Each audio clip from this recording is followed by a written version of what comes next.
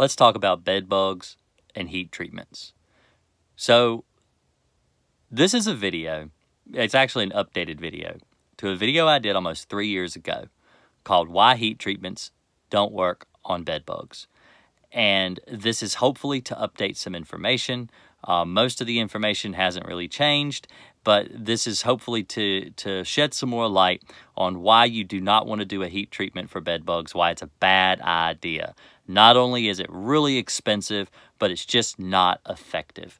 Um, not to the percentage that I feel that people should be trying to sell this work over a tech coming into your house and doing an actual chemical application. Um, are you a tenant? Do you live uh, you know, do you have a landlord? Do you, does your landlord deal with the same exterminator? Do you have problems with, uh, you know, neighbors that have bed bugs and they they're continuing to come into your apartment and you can't do anything about it because the exterminator that is hired by the landlord or the property management is coming in and doing heat treatments and they're just not effective and they've come in three, four, five times. These are stories I have heard myself from people who call me because I'm on the internet. People call me from all over the world and they're like, I've been living in this apartment. I'm suffering from this problem. Is there anything that I can do? Um, this is hopefully going to help you guys. Send this to your landlord. Forward this around. There are cheaper, more effective alternatives. The problem is is that no one understands how bed bugs react to a heat treatment. And this is what I'm hopefully here to explain to you and and help you guys with. Are you living in your home? Do you have problems with bed bugs? Did you pick them up from a hotel? Did you bring them home? Uh, what do you do? You know, you don't have tenants living next door to you. You're just in a single family home. How do you get rid of your bed bug problem? Do, do you do heat because it's isolated? Can you do that? Can you just heat one room and, and hopefully kill your problem? Hopefully this video will, will uh, answer these questions and uh, help shed some light on why you do not want to do a heat treatment. Now, heat treatments, one, the main number one issue. This is why a heat treatment is not effective on bed bugs. The number one thing that I can tell you is that there's no residual. Now, what is a residual? A residual means that when you've treated a home, even when the pest control technician packs up and leaves, there's something still there to kill the bugs when the tech is not at your home doing his job. Um, that's a residual. So if I treat around, for example, in your kitchen cabinets, like say let's let's say you had some cockroaches get in the house and you've got cockroaches living underneath your kitchen cabinets, and I come in and I treat underneath your kitchen cabinets, and then I collect my money and I leave. All right, what is there killing the bugs when I'm not there?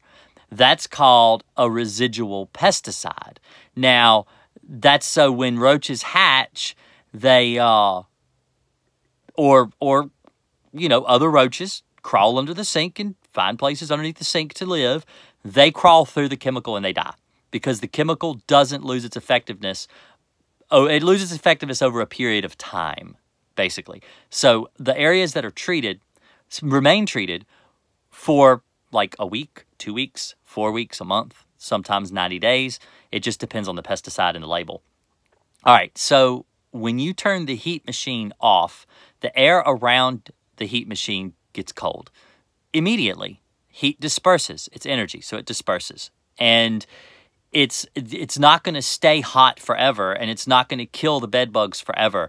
And so the main reason that I did that number one video back years and years ago, two almost three years ago, uh, was to explain that bed bugs don't die from a non-residual treatment. So you you've got a heat machine hooked up and you turn it off, the heat cuts off or the heat turns on. All right, let's say you turn the heat on. This is how heat treatment works. The heat turns on, bed bugs heat up, they start going crazy, moving all over the place and they die. All right? But they don't all die. Some bed bugs make their way into the uh, cabinets. Some bed bugs make their way into wall voids. Some bed bugs go into your furniture, uh, into like a cushion, like deep into a cushion where it's insulated. Um, they might go into a wall socket, like right behind the bed, which I have a wall socket right behind my bed where the headboard hits up against the wall. It's actually really difficult to get to that wall socket because it's behind the headboard. Um, you know, so these are places that bed bugs can go to get away from heat treatments. All right, the way I explain this to people is say, let's say you go to the beach and you're laying on a nice warm sand and it starts to get warmer and warmer and warmer until you're like, wow, I'm hot. And so you go and you jump in the ocean and you cool down. And then you come back up and you lay on the sand again and you start getting warmer and warmer again. And so what happens when you go and you get in the ocean, you're moving to a more comfortable place because you get too hot. Heat is a gradual increase of temperature. So what happens even with fans, you know, they'll say, oh yeah, but we use fans to divert the heat. So these areas get hot really, really fast. It's actually not true. It still takes time. It still takes time for the surface to warm up. It takes time for the walls to warm up. It takes time for the beds to warm up. And while they may be killing some bed bugs, not all the bed bugs die. And the ones that make it into the wall voids or into the deeper parts of the cushions of your couch or your, your bed, they just aren't getting hot enough. The temperatures to kill adult bed bugs have to be 118 degrees or more.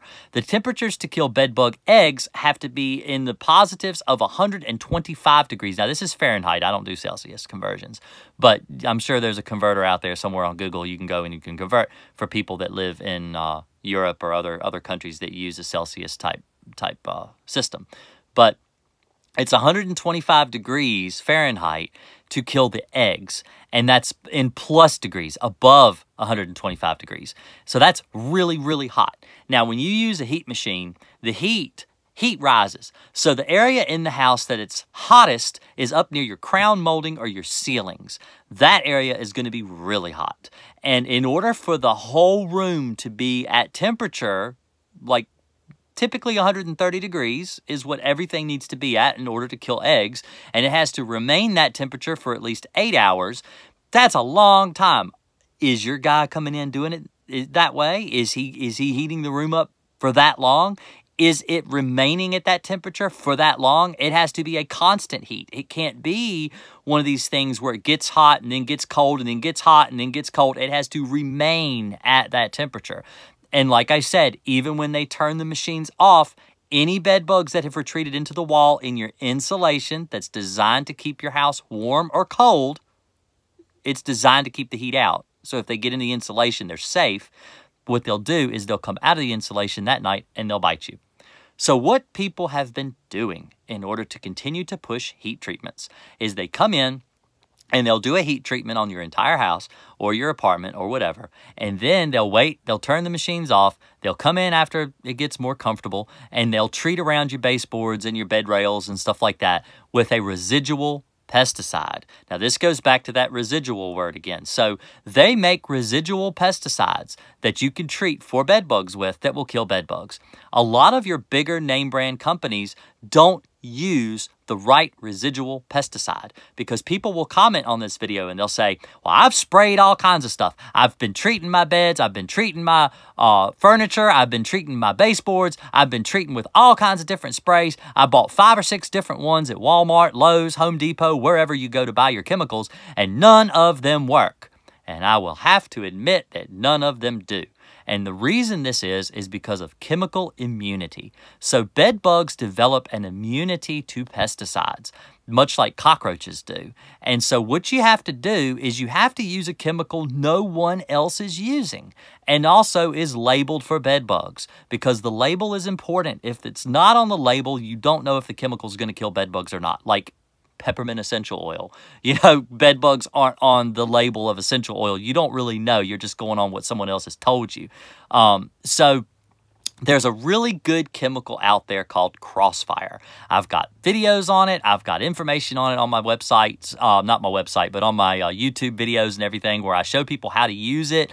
Uh, just go through and, and watch my bed bug playlist. I've got over 30 some videos in my playlist of, of how to get rid of bed bugs yourself.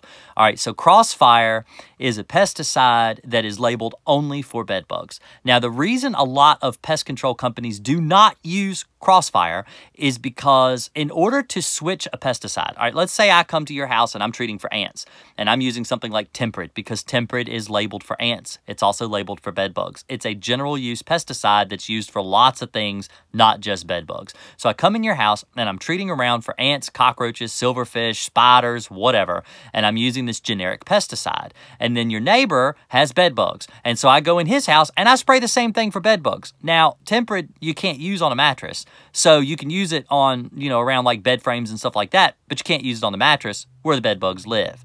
So this is the issue with your bigger box companies is they've got so many people working for them. They can't just dedicate one tank to Crossfire, give it to that guy and say, all right, go out there and kill a bunch of bugs today and then do one bed bug job.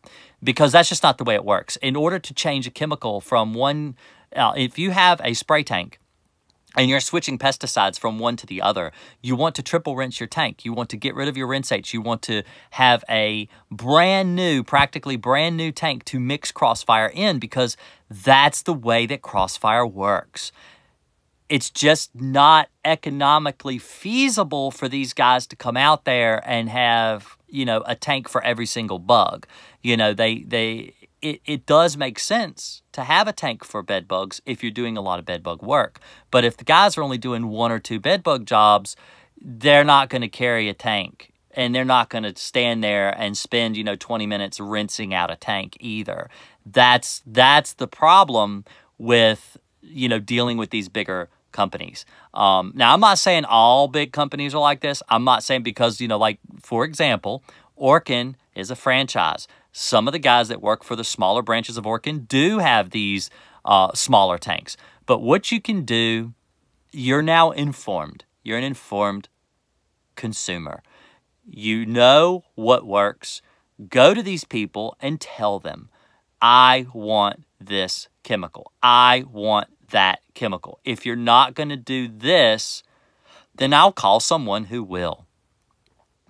So hopefully this has been informative to you. I don't want to trail on too long. I know that's like the number one thing I get told off for. Uh, I hope this has been a good update to my heat treatment video from like I said, three years ago. If you have any questions at all, don't hesitate to leave them in the comments below. Uh, hopefully this has helped clear up a lot of issues around heat treatments and why they're not really that effective. And you should really go with more of a residual than something that you know just isn't going to last you guys have a really great day. I appreciate it. And like I said, like the video if you like it. Subscribe to my channel and hit that notification bell up there so you can find out when I'm live. I do live streams every now and then when I get a chance and answer people's questions. Um, hopefully, I'll get time to do that. This weekend, I've got a bedbug job abroad. Usually, I will do uh, videos when I'm doing something like that. So hopefully, I can get up there and answer some questions for you guys. Uh, have a really great day. I really appreciate it. And hopefully, this has helped. Thanks a lot. Bye.